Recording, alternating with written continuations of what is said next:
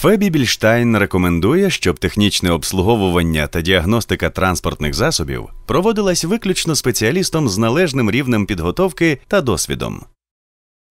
У цьому відео ми розглянемо досить поширений випадок зношування підвіски, притаманний декільком популярним моделям Volkswagen AG.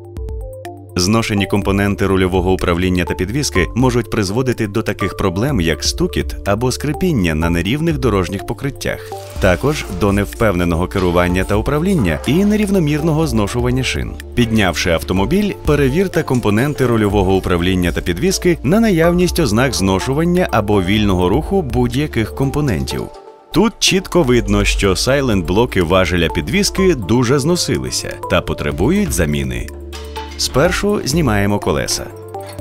Перевірте колеса та шини на предмет будь-яких пошкоджень та перевірте протектор шини на предмет нерівномірного зношування, а також перевірте болти кріплення коліс на предмет пошкоджень та за необхідності замініть їх.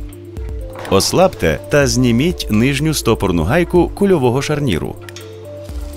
Зніміть нижній кульовий шарнір поворотного кулаку. Для цього може знадобитися знімач, якщо з'єднання заклинило. Відкрутіть болт поперечного важелю підвіски. Після цього зніміть поперечний важіль підвіски, витягнувши його з заднього сайлент блоку. Новий ремкомплект поперечного важеля підвіски від Фебі, оснащений новим важелем з кульовим шарніром, йде в комплекті з новим сайлент блоком та важливою інформацією зі встановлення.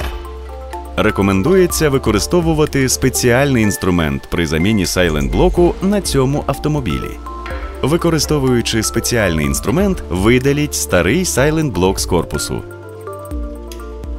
Після видалення старого сайлент блоку очистіть корпус, щоб видалити будь-які сліди корозії. Це полегшить встановлення нового сайлент блоку.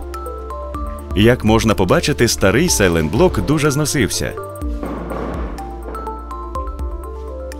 Також при порівнянні з оригінальним Silent блоком можна побачити покращений дизайн нового Silent блоку від Фебі, який забезпечує кращу підтримку та є більш міцним. Слідкуйте за правильним орієнтуванням Silent блоку, як вказано в інструкції Фебі.